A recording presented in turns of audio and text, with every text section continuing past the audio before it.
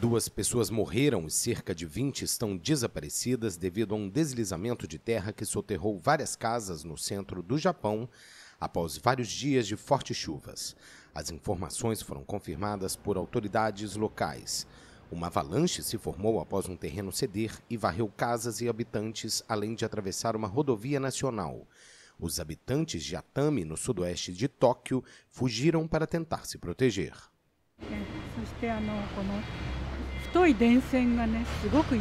Os grandes postes de eletricidade estavam balançando e quando me perguntei o que estava acontecendo, o deslizamento já estava lá e na rua abaixo também. Eu estava realmente assustada.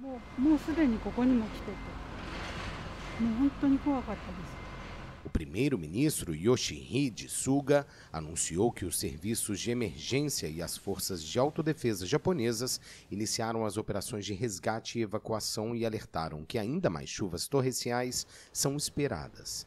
A cidade, localizada na região rural de Shizuoka, fica a cerca de 90 quilômetros da capital Tóquio e é conhecida por suas fontes termais.